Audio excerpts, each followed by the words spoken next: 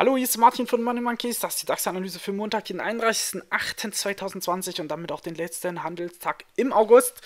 Ähm, unser DAX hat, ja, zum, äh, lass mal vielleicht mal die, die letzte Woche Revue passieren. Ne? Wir hatten eine relativ schlechte Vorlage in die neue Woche hinein, äh, sind dann äh, mit der Befürchtung schon reingestartet, dass er wahrscheinlich zum Montag alles wieder rauszieht nach oben, wie er das die letzten Wochen immer wieder getan hat, immer wieder sehr stark auf dem Montag, auffällig stark auf dem Montag gewesen, wie als würden FED und EZB ähm, wirklich im Schwerpunkt versuchen, immer wieder Montag erstmal die Woche äh, so weit reinzuheben, dass man sagen kann, da muss man nicht mehr viel Geld reinpacken, um die dann auf dem Niveau zu halten.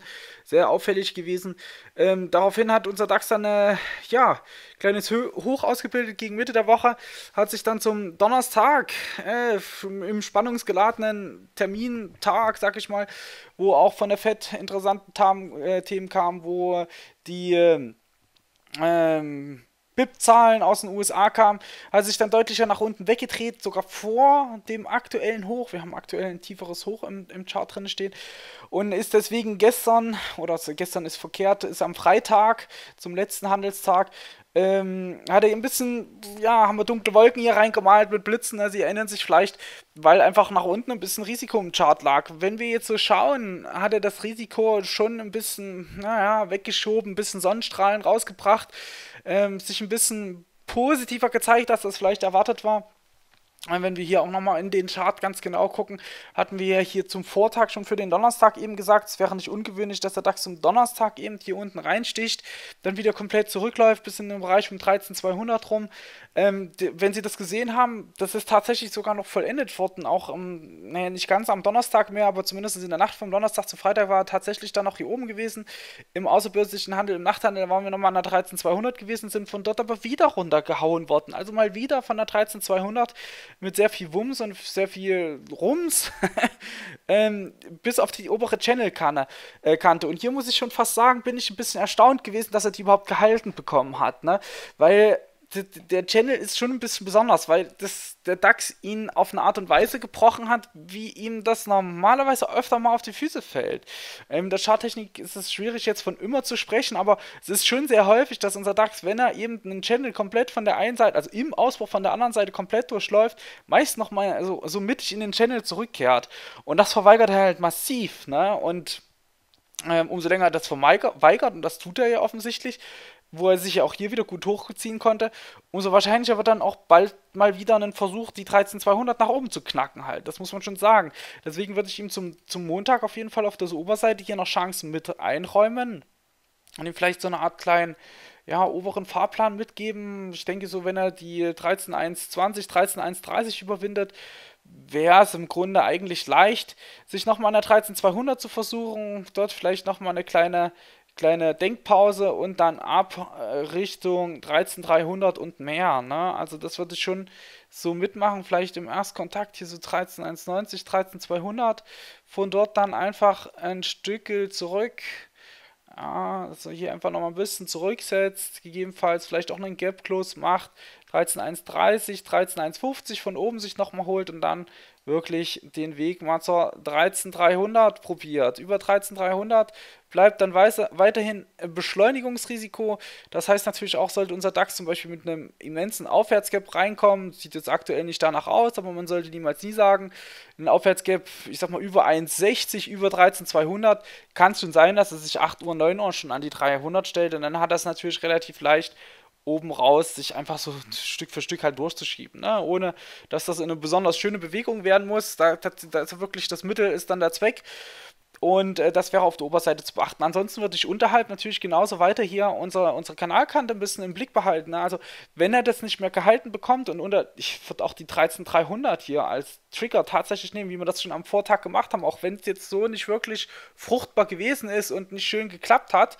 Äh, ich denke aber schon, wenn die 13.000 hier fällt, dass unser DAX nochmal gut und gerne in die, in die Channel-Mitte reinziehen kann. Und das ist so, da ist mir der Bereich um 12,8, ich sag mal 12,850 bis 12,6, was ist das hier? 12,670 ist es gar nicht. 12,800, 12,850 bis 12,800. Der, der wäre mir da erstmal wichtig. Im weiteren Verlauf vielleicht sogar nochmal eine 12,670, aber muss jetzt nicht zwingend sein.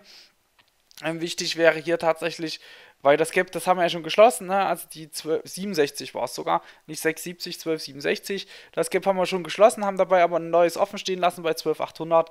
Ich könnte mir vorstellen, dass man da ranläuft. Du musst es nicht unbedingt closen, aber zumindest ranlaufen. Ne? So 12830 ähm, 12,850, 12,830, 12,800, das ist so der Bereich, wo ich ihn dann da nochmal sehen würde, wenn er unten reintaucht. Ne? Also auch wenn wir zum Beispiel einen Abwärtsgap bekommen und hier uns deutlicher unter die 1320, 13.000 nach unten legen, würde ich dann dort entsprechend mit einer Bewegung zur 12.800 hinrechnen. Zu den Optionsscheinen ähm, hat man jetzt schon angekündigt, dass man hier vielleicht nochmal einen äh, anderen Emittenten auch nochmal durchprobieren, einfach ein bisschen ähm, ein Feeling für bekommen, was, was gefällt Ihnen am besten hier wo haben sie, wo sehen sie den größten Wert? Mehrwert haben sich ganz viele halt einfach gewünscht, dass sich die Scheine von Goldman nehmen. Offenbar handeln das einfach mehr.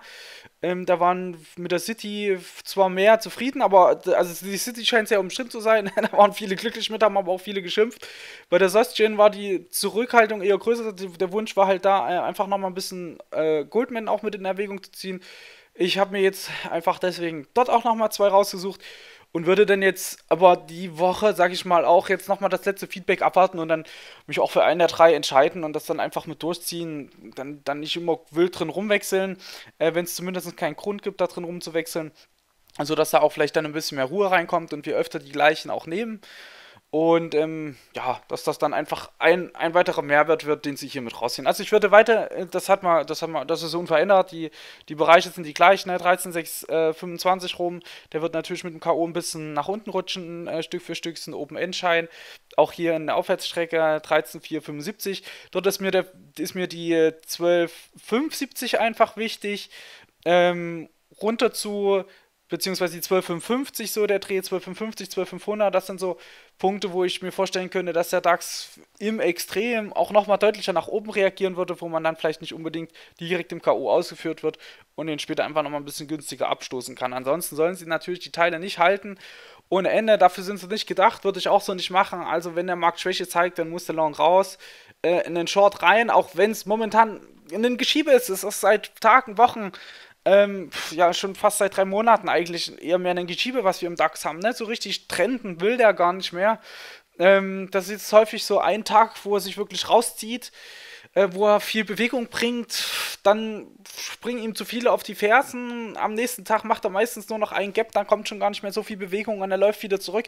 Das ist schon sehr markant markante Bewegung, die wir die letzten Tage immer wieder oder die letzten Wochen insbesondere immer wieder gesehen haben.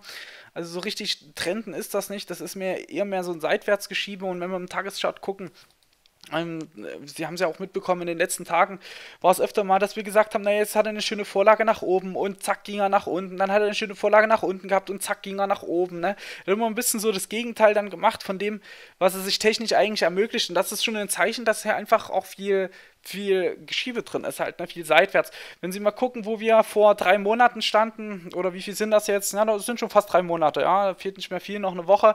Da standen wir bei 12,98 im, im Tagesschluss. Jetzt stehen wir bei 13,64, ne, das sind ein bisschen was über 100 Punkte, 170 Punkte vielleicht, die wir seitdem geschafft haben. Das ist schon, das ist schon, das als klaren Aufwärtstrend zu zeichnen, na, tue ich mir auch ein bisschen schwer.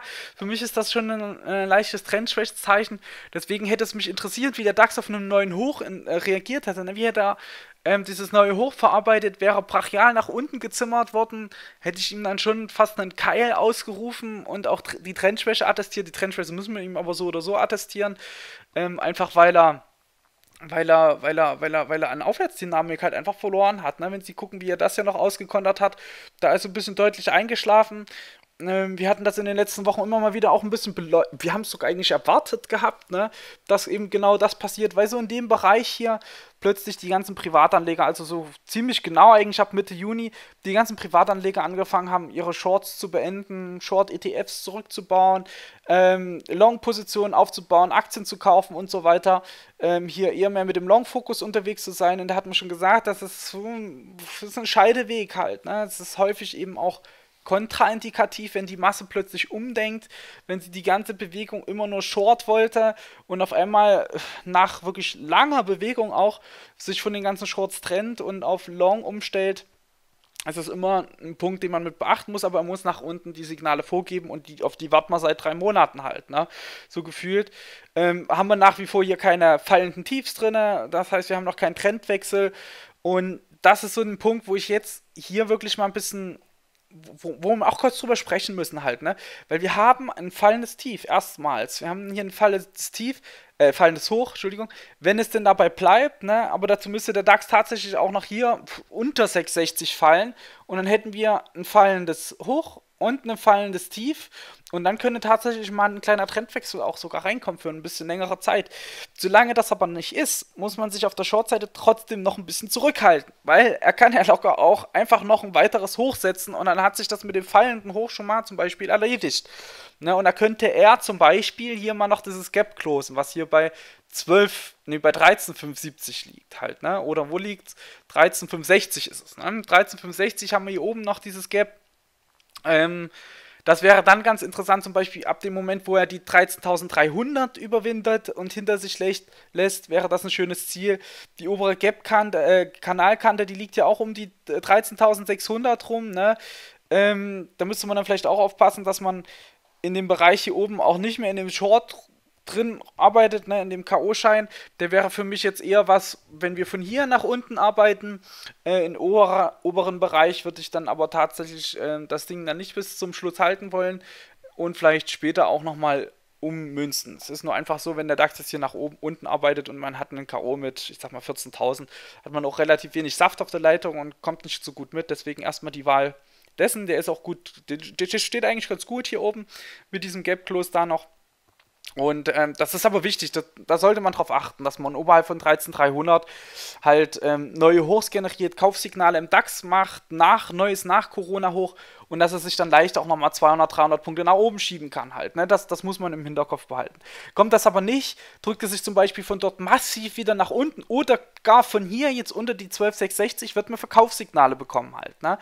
Also dann wird man einen kleinen Trendwechsel bekommen und dann könnte der DAX auch nochmal ein bisschen stärker zurücklaufen, zum Beispiel hier auf unsere rote Zone von oben nochmal drauf. Aber soweit ist es noch nicht, dazu fehlt noch relativ viel, dazu muss er auch noch ganz schön viel zeigen. Und von daher können wir das hier eigentlich so erstmal stehen lassen. Können vielleicht das mal hier ein bisschen zur Seite ziehen, ein bisschen nachrücken. Ähm, 200-Tage-Linien liegen jetzt ziemlich genau aufeinander, wären damit auch recht interessant bei 12.100, 12.200 rum. Äh, also eher im oberen Bereich 12.170 bis 12.200 äh, liegen die dann. Man, wir sehen auch, die Bollinger Bänder ziehen sich schon wieder deutlicher zusammen. Ne? Das untere kommt recht zügig nach oben, wird jetzt hier auch bald auf der 12.7 50 stehen. Ich denke, das dauert noch ein, zwei Tage. Und damit deutet sich, ähnlich wie wir das hier hatten, bald auch wieder ein ähm, Bruch aus der Seitwärtsspanne an. Ne? Also wenn sich die Bollinger Bänder zu eng zusammenziehen, ist häufig ein Anzeichen dafür, dass wieder ein bisschen mehr Trendbewegung im Haus, ins Haus steht. Wenn wir jetzt den September mal so als Monat für uns gewichten, müssen wir sagen, das ist der statistisch schlechteste Börsenmonat ever. Das heißt aber auch nicht, dass der Markt deswegen dort durchfallen muss. Ne? Wenn wir am Monatsende 100 Punkte tiefer stehen und zwischendurch nur wieder seitwärts gelaufen sind, war es auch ein schlechter Börsenmonat, der dann der Statistik gerecht wird. Ne? Man muss nicht immer denken, nur weil das ein statistisch schlechter Monat ist, muss er deswegen da 5000 Punkte fallen oder so. Ähm, aber wir bekommen saisonal bedingt halt einfach jetzt auch ein bisschen ähm, Risiko mit in den Chart rein. Ne? Saisonalität, das hier wichtig, weil einfach September, Oktober, das sind, das sind häufig Monate, wo es einfach ein bisschen strauchelt, wo der Markt sich ja, gerne auch mal ein bisschen fallen lässt. Also, das soweit mein Blick auf den Tageschart. Mir wäre jetzt hier tatsächlich wichtig, neues Hoch über, ja, 13200, 13300. Das wäre für mich so ein Trigger zur 570 hoch, zur 13.600 hoch. Ähm, geht aber runter, geht dann nochmal tiefer. Auch unter die, was ist es, 12.900 hier per Tagesschluss. Unter die 12.850 vielleicht sogar per Tagesschluss wäre das so ein erstes Anzeichen für mich, dass man mal die, die 57, die 640 austestet und wenn wir dann darunter noch einen Tagesschluss kriegen, hätte ich die 200-Tag-Linien im Blick und das sollte man jetzt für die nächsten Tage schon, wenn er unten raus arbeitet, äh, mit ein bisschen mehr Weitsicht dann nehmen, einfach weil der, weil der September jetzt hier reinkommt. Wie gesagt, ohne dass das, dass das muss und kann. Ähm, stand hier, sehe ich jetzt keinen Handlungsbedarf. Äh, aber wir sollten uns jetzt schon darauf einstellen, was passiert, wenn der Markt oben rausgeht, was passiert, wenn der Markt unten raus ist. Weil glauben Sie mir, wenn er es dann macht, dann sitzen Sie wieder da, suchen tausend andere Gründe. Deswegen ruhig jetzt schon einen Zettel ranschreiben an den Bildschirm. Wenn das passiert, dann handle ich das. Wenn das passiert, dann handle ich das. Und dann, dann handeln Sie halt auch schön nach Technik. Ne? Dann haben Sie viel Wahrscheinlichkeit im Trade. Und ähm, deswegen ruhig jetzt da mal schon drauf vorbereiten. Das ist einfach wichtig, weil wir ja jetzt hier einen Monatsschluss sehen, neun Monate auch nochmal reinbekommen. Äh, der auch von der Saisonalität nicht ganz unwichtig ist. Und von daher können wir hier auch mal ein paar Minuten uns dem kurz widmen, dem Thema. Ne? Ansonsten, was haben wir besprochen? Die Marken, die sind bekannt, die Richtung auch. Ähm, demzufolge müssen wir jetzt bloß warten, wie, wie es sich zum Montag gibt. Ne? Macht er wieder den Montag, ich rette den Markt und schiebe oben alles raus. Wissen Sie, wo es lang geht?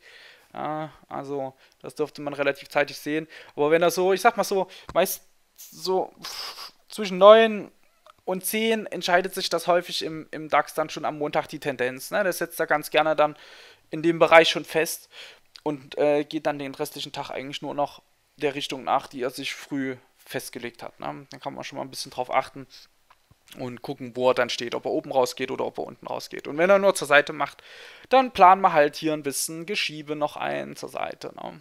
um es dann zum Mittwoch aufzulösen, äh, zum Dienstag. Gut, Freunde, dann sind wir soweit durch. Das heißt, wir haben nicht so richtig eine klare Tendenz, müssen ein bisschen schauen, ähm, wo uns jetzt die Hebel umlegt. Hm, ich persönlich würde schon fast die Tendenz eher auf aufwärts setzen, einfach weil die letzten Montage so positiv waren. Aber das ist eher jetzt so ein so, ein, so, ein, so eine Unterstellung. Sollte der Schwäche zeigen zum Montag, ich würde gar nicht zögern, dann da auch mal einen Short mitzusuchen. Ne? Wichtig ist nur, dass er da auch ein bisschen durchzieht. Insbesondere so auch nach 9 Uhr, nach 10 Uhr, dass er das dann beibehält und nicht einfach umgedreht wird halt. Ne? Das ist wichtig. Ja, mehr kann ich gar nicht mitgeben. Ähm, wie gesagt, Scheine bleiben die gleichen, hänge ich nochmal im Kommentar unten dran. Und nö, das war's. Mehr fällt mir nicht ein. Ich hoffe, es war was dabei für Sie. Ich hoffe, es hilft Ihnen. Und dann hören wir uns morgen wieder. Bis dahin. Tschö.